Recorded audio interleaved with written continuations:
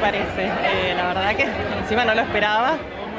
Así que sí, una gran responsabilidad. Espero poder hacerlo bien y, bueno, y dejar nuestra huella misionera a nivel país.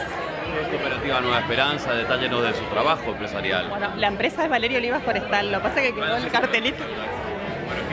la empresa? La empresa es Valerio Olivas Forestal, eh, hace, desde 1956 existe la empresa, en Misiones estamos desde hace 40 años, somos tercera generación, el directorio está conformado por mujeres, somos tres mujeres al frente del directorio y bueno, la verdad es que es una gran responsabilidad y, más en un mundo que netamente es de hombres, porque el mundo maderero, productivo, industrial, es difícil meterse, digamos, en ese, en ese sector. Pero bueno, lo estamos haciendo con mucho entusiasmo y la verdad que nos está haciendo muy bien, por suerte. ¿Una empresa familiar? Es una empresa familiar, sí, sí, nosotros somos tercera generación. Ahora representar la provincia. Ahora representar la provincia y bueno, y si podemos focalizar también un poco eh, levantar la voz por el sector, también será bienvenido porque no es un momento fácil. Nosotros somos generadores, dadores genuinos de trabajo, tenemos en forma directa 50 personas y en forma indirecta más de 300 personas, así que es una gran responsabilidad. ¿Cuál es su mensaje para las mujeres empresarias? Mira, escuché los testimonios de todas las mujeres que fueron filanistas y la verdad es que son espectaculares a mí me daban ganas de elegir a cada una de, las personas que, que, se presentaban y que, que hablaban de sus proyectos. Me encantó, me parece que hay mucho potencial, hay cosas que yo ni me hubiera imaginado que existían, como por ejemplo el, caso de la chica que hacía pelucas para niños oncológicos, me pareció alucinante. O sea que si yo les puedo dar fuerzas para las mujeres para que sigan, lo estoy haciendo ahora, que sigan, que no, que no, que no claudiquen, que vayan para adelante. ¿Cómo está conformada su familia? Bueno, eh, el fundador de la empresa fue mi abuelo, Valerio Oliva.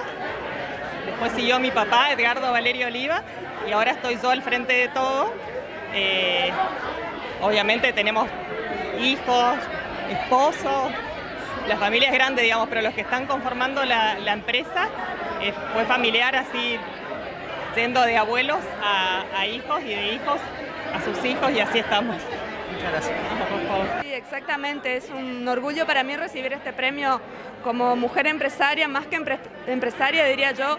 Eh, no sé si lo me merezco tanto este título, pero sí, lo que sí eh, está bueno difundir lo que hago, porque es necesario que, toda la provincia se entere de lo que hago, porque pueden ayudarnos, más que nada con el cabello, que es, es muy poco lo que necesito, y pueden ayudar a una señora o a una niña que está atravesando un tratamiento oncológico. ¿Cómo surgió la idea?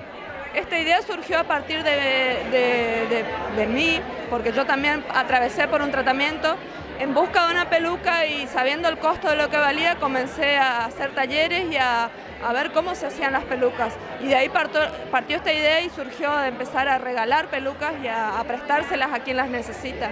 ¿Cómo puede hacer aquel que quiera donar su, pelo o, como vos decías, aquel que, se corta el pelo, que lo guarde, cómo, cómo lo puede hacer para donarlo?